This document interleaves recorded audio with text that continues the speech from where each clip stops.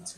यहाँहरू सबैलाई ख्रिस्टी अभिवादन जयमसी फेरि पनि आज हामी परमेश्वरको वचन लिएर बाइबल धर्मशास्त्रबाट म केही बोल्नलाई परमेश्वरको वचन बोल्नलाई आएको छु। र आज फेरि पनि यहाँहरूलाई सबैलाई स्वागत छ। हामी सँगसँगै परमेश्वरको वचनमा परमेश्वरको सङ्गतिमा हामी रमाउने छौँ। आजको शीर्षक वचनको शीर्षक राखेको छु मैले। भलाइ गर्ने काममा हामी नथागौँ। भलाइ गर्ने काममा हामी नथागौँ। अहिलेको समयहरू हामीले हेर्दाखेरि पनि साँच्चै नै भलाइ गर्नुपर्ने स्थितिहरू हामी देख्दछौँ। कति व्यक्तिहरूलाई कतिलाई अब भन्ने गरेको छ बाँस घाँस बाँस कपास भन्ने कुराहरू गर्दछन्। कतिलाई बाँसको खाँचो छ कतिलाई कपासको कतिलाई घाँसको खाँचो छ। त्यस कारणले गर्दाखेरि आज परमेश्वरको वचन बाइबल धर्मशास्त्रबाट हामीलाई के भन्नुहुन्छ त हामी हेर्नेछौँ यसै अन्ठाउन्नको हामी सातदेखि पढ्नेछौँ एघारसम्म। यहाँनिर लेखेको छ आफ्नो भोजन भोकासित बाँडचुड गर्नु र घर नभएका गरिबहरूलाई शरण दिनु नाङ्गोहरूलाई देखेर लुगा लगाइदिनु र आफ्नो जात भाइहरूबाट नलुग्नु होइन र तब तिमीहरूको ज्योति बिहान झैँ फुटेर निस्कनेछ। तिमीहरू चाँडै निको हुनेछौ तब तिमीहरूको धार्मिकता तिमीहरूका अघि अघि जानेछ र परम प्रभुको महिमा चाहिँ पछिल्तिर रक्ष रक्षक हुनेछ। तब तिमीहरूले पुकार गर्नेछौ र परम प्रभुले जवाब दिनुहुनेछ। तिमीहरूले सहायताको निम्ति बिन्ती गर्नेछौ र उहाँले भन्नुहुनेछ म यहीँ छु। यदि तिमीहरूले आफ्ना बीचबाट अत्याचारको जुवा फालिदियौ अरूलाई औँला ठाडो गर्न र ईर्षापूर्ण कुरा बोल्न त्याग्यौ अनि सम्पूर्ण हृदयले तिमीहरूले आफैलाई भोकाहरूका निम्ति दियौ र अत्याचारमा परेकाहरूको आवश्यकता पुरा गरिदियो भने तिमीहरूको ज्योति बिहान बिहानमा के अरे तिमीहरूको ज्योति अँध्यारोमा चम्कने छ र तिमीहरूको रात मध्य दिन जस्तै हुनेछ। परमप्रभुले तिमीहरूलाई निरन्तर डोड्याउनु हुनेछ। घामको उत्मुख गर्मी परेका ठाउँहरूमा पनि तिमीहरूलाई सन्तुष्ट पार्नुहुनेछ र तिमीहरूका हाडहरूलाई बलियो पार्नुहुनेछ तिमीहरू प्रशस्त पानीले भिजाएको बगैँचा झैँ नसुक्ने पानीको मूल हुनेछौ। आमेन। परमेश्वरलाई धन्यवाद होस् अनि साँच्चै नै परमेश्वरको वचनले आज हामीलाई आज्ञा दिनुभएको छ। जो आज्ञाकारी हुन्छ अघि भर्खर हामीले भजन सङ्ग्रहबाट पनि हेऱ्यौँ र जो आज्ञाकारी हुन्छ उसलाई चाहिँ के के हुनेछ अरे? आशिषित हुनेछ। प्रभुलाई धन्यवाद होस्। अनि हामीले यहाँनिर हेऱ्यौँ आफ्नो भोजन आफ्नो भोजन भोकाहरूलाई के गर्नु अरे? भोकाहरूलाई बाँडचुड गर्नु कति असल कुरा। हामीले हेऱ्यौँ अहिले लकडाउन भएको कति दिन भइसक्यो त आज कतिजनाले खाना पकाएर ठाउँ ठाउँमा बाँडिरहनु भएको छ। अस्ति नै पनि हामीले बाटोमा घर जाने बेलामा कतिजनाहरू सा सात दिन कति नौ दिन यस्तो यस्तो भन्दै हुनुहुन्थ्यो। त्यतिखेर पुरानै भए तापनि जुत्ताहरू बाटोमा राखिदिनु भएको थियो। पानीहरूको व्यवस्था खानाहरूको व्यवस्था गरिदिनु भएको थियो। त्यो भलाइको काम थियो। भलाइ गर्ने काम उहाँहरूले गरिरहनु भएको थियो। अहिले पनि कतिजनाहरू खडा हुनुभयो म खाना पकाएर खुवाउँछु भनेर तर सहयोग गर्ने हातहरू पनि परमेश्वरले जुटाइदिनु भएको छ। यस कारणले जब हामी खडा हुन्छौँ भने परमेश्वरले चाहिँ के गर्नुहुन्छ त? जुटाइदिनुहुन्छ। परमेश्वरलाई धन्यवाद होस्। त्यसै गरिकन यहाँ भनेको छ गरिबहरूलाई शरण दिनु। गरिबहरूलाई शरण दिनु। आज हामीले नेपाल देशमा हेऱ्यौँ भने कतिजना त्यस्तो हिरो महिलाहरू हामी देख्दछौँ। गरिबहरूलाई असहायहरूलाई सहारा दिनुभएको। अत्याचारमा परेकाहरूलाई सहायता गर्नुभएको।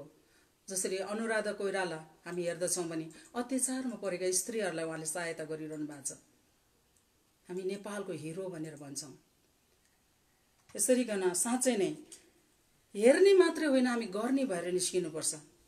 भलाइ गर्नलाई हामी कहिले पनि थाक्नु हुँदैन। भलाइ गरिरहनुपर्छ। अर्को हामीले हेर्दछौँ भने स्नेह काख भनेर हामी हेर्दछौँ। उहाँले पनि कति बालकहरूलाई अनि कतिजना बालकहरू र कतिजना चाहिँ त्यो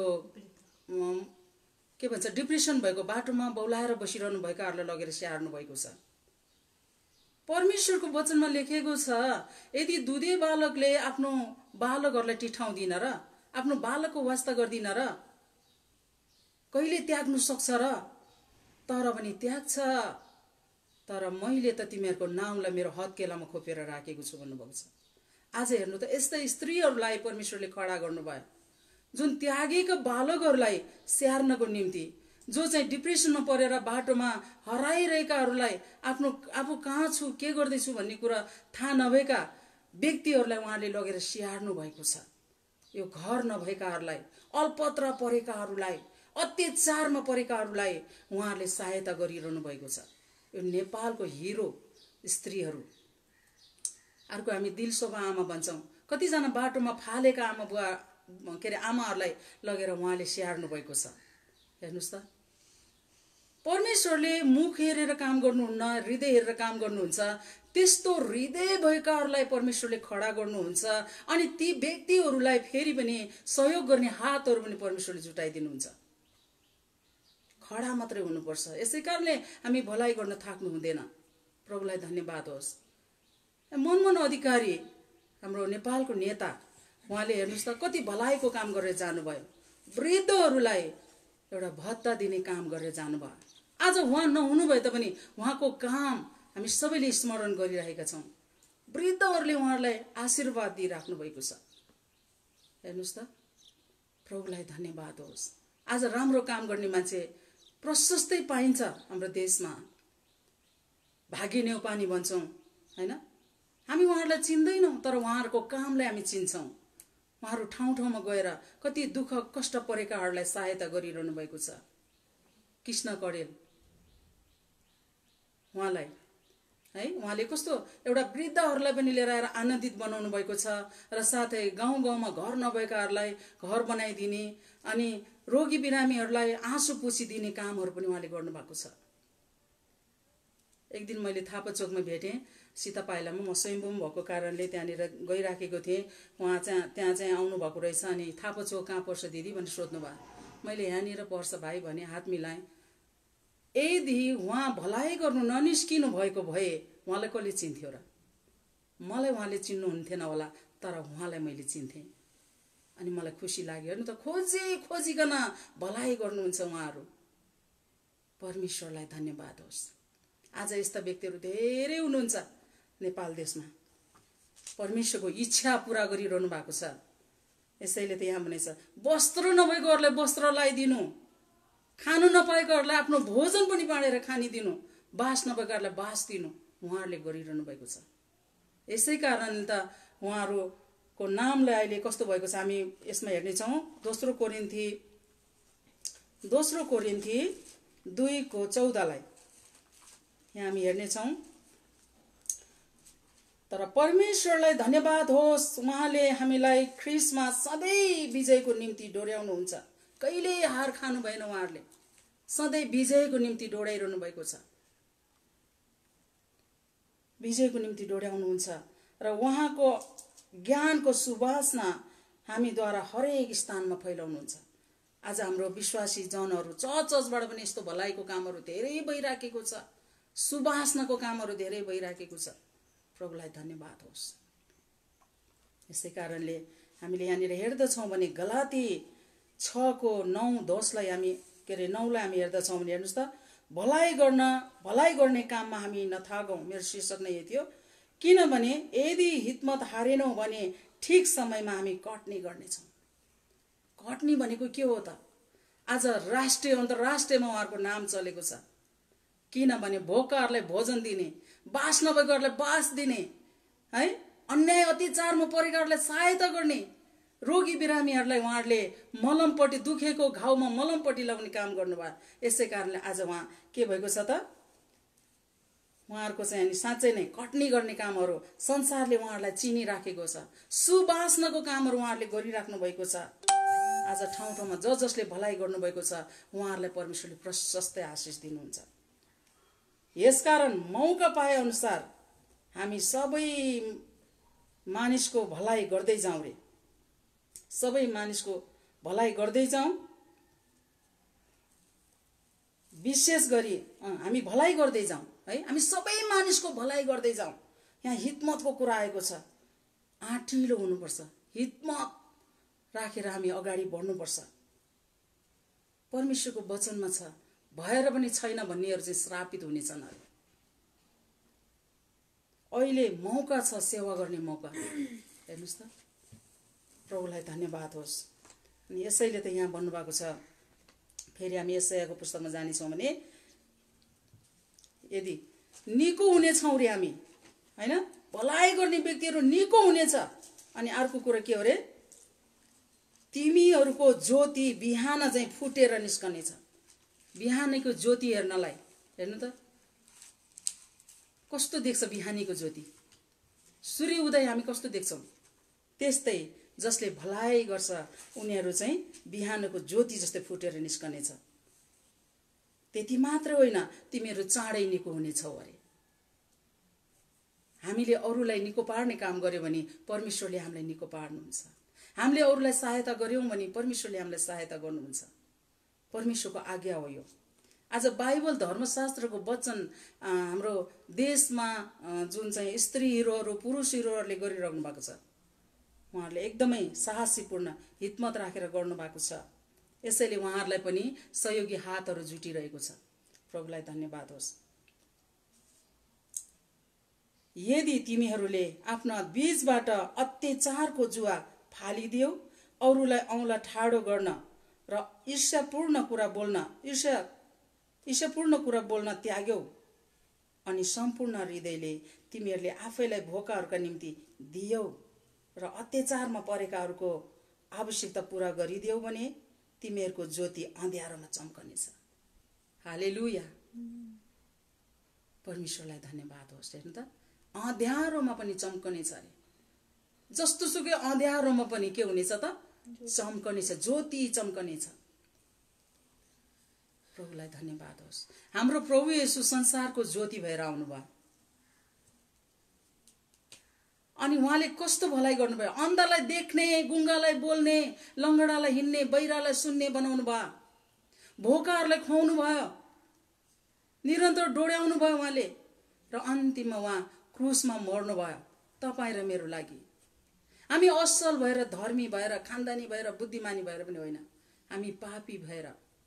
एउटै मात्र उपाय थियो त्यो रगतले शुद्ध गर्न सक्थ्यो। जुन रगत पवित्र चाहिन्थ्यो पवित्र रगत केवल परमेश्वरमा मात्रै हुन्थ्यो। उहाँ चाहिँ हाम्रो लागि मरिदिनु भयो। मरेको मरेको हुनु भएन। तेस्रो दिन उहाँ बौरी उठ्नु भयो। चालिस दिन चालिस रात यो संसारमा रहनु भयो जीवित हुनु भएर। अनि त्यसपछि शरीरै शुद्ध उहाँ स्वर्ग जानुभयो प्रभुलाई धन्यवाद होस्। भलाइ गर्ने काम उहाँले हामीलाई सिकाउनु भयो।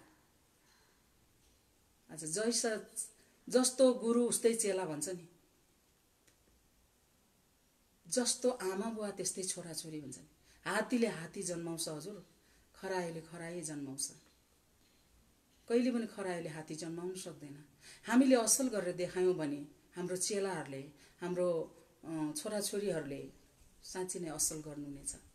हाम्रो चेलाहरू पनि छोराछोरी नै हुनुहुन्छ। प्रभुलाई धन्यवाद होस्। अनि हेर्नुहोस् त परमेश्वरले कति ठुलो काम गर्नुहुँदो रहेछ। मध्य दिन जस्तो अँध्यारो पनि मध्य दिन जस्तै हुनेछ अरे परम प्रभुले तिमीहरूलाई निरन्तर डोड्याउनु हुनेछ अरे आज साँच्चै नै भलाइ गर्ने व्यक्तिहरूलाई परमेश्वरले निरन्तर डोड्याउनुहुन्छ घामको उत्मुख गर्मी परेको ठाउँहरूमा पनि तिमीहरूलाई सन्तुष्ट पार्नुहुनेछ। सन्तुष्ट पार्नु जस्तो सुकै समस्यामा पनि परमेश्वरले सन्तुष्ट पार्नुहुनेछ। प्रभुलाई धन्यवाद होस्। हामी यहाँ हेर्नेछौँ भने र तिमीहरूका हाडहरूलाई बलियो पार्नुहुनेछ भलाइ गर्ने व्यक्तिहरूलाई परमेश्वरले एकदम के गर्नुहुन्छ? शान्ति दिनुहुनेछ शक्ति दिनुहुनेछ। एकदमै अनि डोडाउनु हुनेछ परमेश्वरले जुटाउनु हुनेछ परमेश्वरले। यहाँ भन्नुभएको छ तिमीहरू प्रशस्त पानीले भिजाएको बगैँचा झैँ नसुक्ने पानीको मूल झैँ हुनेछ दिने व्यक्ति कहिले गरिब हुँदैन। बाइबल धर्मशास्त्रमा भनेको छ लिनुभन्दा दिनु असल छर्नुभन्दा के अरे बटुल्नुभन्दा छर्नु असल हो। छर्ने कामहरू दिने कामहरूमा कहिले पनि थाक्नु हुँदैन। अहिले हामी हेर्छौँ कतिजनाहरूले कोही कोहीहरू घरबेटीले निकालिदियो अनि बाटोमा नै अब बास भएको छ भन्ने कुराहरू पनि सुन्छौँ। यो समय यस्तो नगरिदिनु हुँदा नगर्नु भएको भए राम्रो हुन्थ्यो। किनभने रातपछि दिन आउँछ। यो केही सङ्कष्ट हो केही समयको लागि हो तर सधैँ यतिकै रहँदैन। दुःख परेको बेलामा साथ दिनु भनेको एकदमै त्यो कहिले पनि नबिर्सिने कुराहरू हुँदछ। त्यस कारणले हामीले भलाइ गर्नुपर्छ। परमेश्वरको वचनमा आज हामीले हेऱ्यौँ कि हामी रमाट है? अनि यहाँ भन्छ तिमीहरू परमप्रभुमा रमाट पाउनेछौ। परमेश्वरमा रमाट पाउनेछौ। म तिमीहरूलाई देशका उच्च स्थानहरूमा सवार गर्ने तुलाउनेछु। आज भलाइ गर्ने व्यक्तिहरू साँच्चै नै देशको उच्च पदमा राखिदिनु भएको छ उहाँहरूलाई। नाउँ उच्च है? उहाँहरूको नाउँ सबैले जय जयकार गर्छन्। वाह कस्तो राम्रो काम गर्नुभयो। आज आज देशलाई सहायता गरिरहनु भएको छ उहाँहरूले। आज हामी पनि साँच्चै नै असल काम गर्नेहरूलाई पछ्याएर हाम्रो प्रभु यशुले पनि जुन नमुना दिनुभएको छ उदाहरण बन्नुभएको छ अनि सुवासनाको कुराहरू यहाँनिर है सुवासना छर्ने कामहरू चाहिँ हामीले गर्नुपर्छ।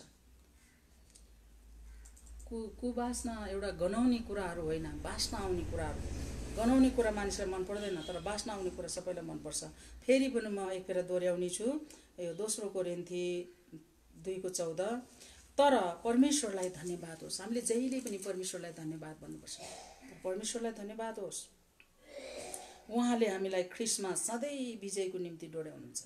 ख्रिसमा हामीलाई विजयको निम्ति डोर्याउनुहुन्छ। विजयको निम्ति डोर्याउनुहुन्छ। हाले मात्रै होइन। उहाँको ज्ञानको सुवासना हामीद्वारा हरेक स्थानमा फैलाउनुहुन्छ। उहाँको ज्ञानको सुवासना हरेक स्थानमा चाहिँ हामीद्वारा फैलाउनुहुन्छ। हामीलाई विजयको निम्ति डोर्याउनुहुन्छ। रोमी बाह्रको अठाइसमा हामीले हेर्दछौँ भने उहाँले आफ्नो अभिप्राय अनुसार बोलाएकाहरूलाई के गर्नुहुन्छ? भलाइ नै गर्नुहुन्छ। अहिलेको यस्तो महामारी समयमा हामी डराउने छैनौँ। किनभने भलाइ गर्नेहरूले भलाइ गर्ने गर्नमा नथाकौँ भलाइ गरिरहँ। यदि हामीले हितमत हारेनौँ भने कट्नी पनि गर्नेछौँ कट्नी भनेको चाहिँ फेरि के भन्ठान्नु होला? र कतिजनाहरूले भलाइ गर्ने व्यक्तिहरूको लागि हात फैलाउनुहुन्छ प्रार्थना गर्नुहुन्छ। उहाँहरूलाई धन्यवाद भन्नुहुन्छ। उहाँहरूले असल नाम कमाउनुहुन्छ क्या। है नाम कमाउने कामहरू चाहिँ हामीले गर्नुपर्छ। अरूको लागि जिउनु। एक छ खानु र आफ्नो लागि मात्रै भन्ने त अब त्यो जसले पनि गर्छन् तर अरूको लागि हामीले आफ्नो भन्दा पनि अरूको हितलाई याद गर्नुपर्ने हुन्छ। परमेश्वरलाई धन्यवाद होस्। जुन एउटा भजन छ अहिले मती चौबिसको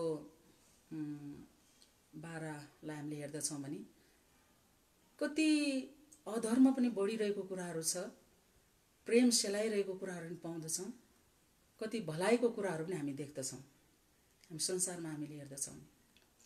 अनि त्यो भजनमा भनेको छ कि मलाई परमेश्वरले सिकाउनु भयो। अधर्म बढ्दै गयो प्रेम सेलाएर जानु सक्छ। एकअर्कालाई आदर गरौँ। एकतामा बस्नु पर्छ हाले लुया प्रभुलाई धन्यवाद होस्। अनि साँच्चै नै आज प्रेम सेलाउ सेलाउने छ भनेर बाइबल धर्मशास्त्रमा भनेको छ। अनि साँच्चीकै प्रेम सेलाइरहेको कुराहरू पनि पाउँदछौँ। तर पनि हामी चाहिँ वचनलाई पालन गर्नुपर्दछ। हामीले एकअर्कालाई आदर गर्न र सम्मान गर्न हामीले कहिले पनि छोड्नु हुँदैन। प्रभुलाई धन्यवाद होस्। हुन्छ यहाँहरूले एकदमै वचन सुन्नुभयो। साँच्चै आज आशिषित हुनुभयो होला। प्रभुलाई धन्यवाद होस्। आज हामीले याद गऱ्यौँ हाम्रो देशको हिरोहरू।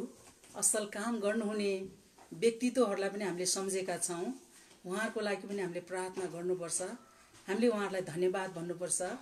र साथै हामीले पनि गर्नुपर्छ। हामी पनि एउटा गर्ने हुनुपर्छ हेर्ने होइन। गऱ्यौँ भनेदेखि साँच्चै नै उहाँ जस्तो हुनेछौँ हेर्ने मात्रै हो भने हेर्ने त धेरै हुन्छ हजुर। गर्ने व्यक्ति हुनुपर्छ। म फेरि पनि भन्नेछु भलाइ गर्ने काममा हामी नथाकौँ। हामी भलाइ गर्ने काममा हामी नथाकौँ। हुन्छ परमेश्वरलाई धन्यवाद होस्।